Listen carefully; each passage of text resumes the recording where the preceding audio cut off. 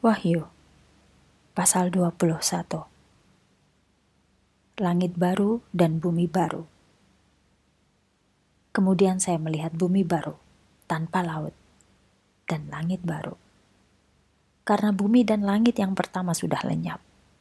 Dan saya Yohanes melihat kota kudus yaitu Yerusalem baru turun dari surga dari Allah Sungguh suatu pemandangan yang indah, megah, seperti seorang pengantin perempuan pada hari pernikahannya.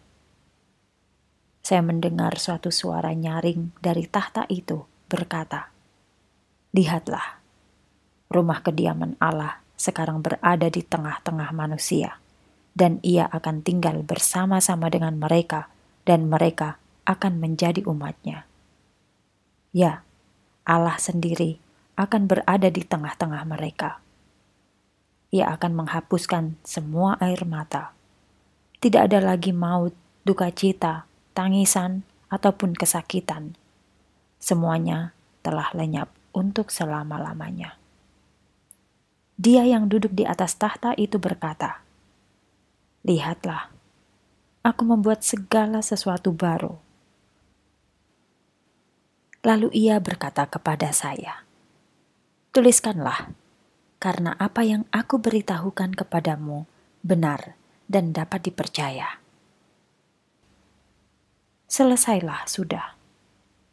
Akulah A dan Z, yang awal dan yang akhir. Aku akan memberikan sumber air kehidupan kepada mereka yang haus sebagai anugerah. Setiap orang yang menang akan mewarisi semua berkat ini dan aku akan menjadi Allahnya, dan ia akan menjadi anakku. Tetapi pengecut dan orang yang tidak setia kepadaku, orang yang keji, pembunuh, orang cabul, tukang sihir, penyembah berhala, dan pendusta, semuanya akan binasa dalam lautan api yang menyala-nyala dengan belerang. Inilah kematian kedua. Kemudian seorang dari ketujuh malaikat yang telah menuangkan cawan-cawan yang berisi ketujuh malapetaka terakhir datang kepada saya lalu berkata, Ikutlah aku, maka aku akan menunjukkan kepadamu pengantin perempuan, istri anak domba.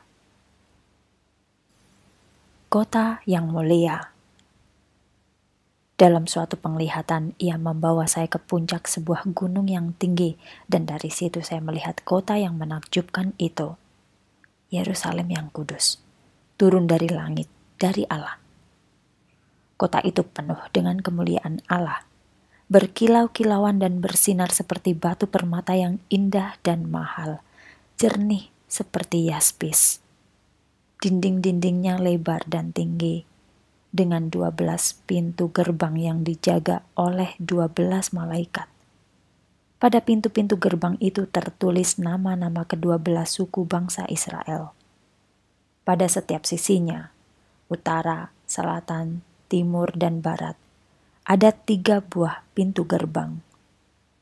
Dinding kota itu mempunyai dua belas batu alas, dan pada batu-batu itu tertulis kedua belas nama Rasul Anak Domba.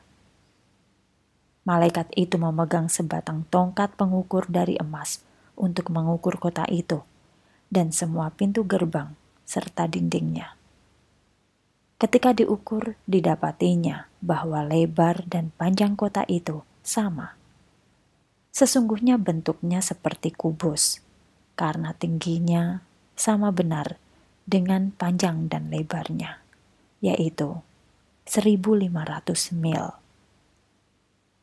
Lalu ia mengukur dinding itu dan didapatinya bahwa tebalnya 144 hasta atau 64,8 meter. Malaikat itu memberitahukan ukuran-ukuran ini kepada saya dengan memakai satuan baku.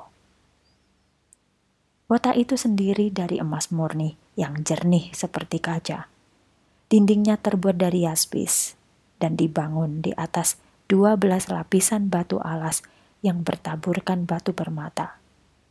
Lapisan pertama bertaburkan batu yaspis, lapisan kedua batu nilam, lapisan ketiga batu merah, lapisan keempat batu zamrud, lapisan kelima batu unam, lapisan keenam batu sardis, lapisan ketujuh batu ratna cempaka, lapisan kedelapan batu beril, lapisan kesembilan batu krisolit, lapisan ke-10 batu krisoperas, lapisan ke-11 batu lazuardi, lapisan ke-12 batu kecubung. Kedua belas pintu gerbang terbuat dari mutiara. Setiap pintu gerbang terdiri dari satu mutiara. Dan jalan rayanya terbuat dari emas murni yang jernih seperti kaca. Di dalam kota itu tidak tampak bait Allah, karena di situ Tuhan Allah yang Maha Kuasa dan Anak Domba dapat disembah di mana saja. Kota itu tidak memerlukan cahaya matahari atau bulan, karena kemuliaan Allah dan Anak Domba meneranginya.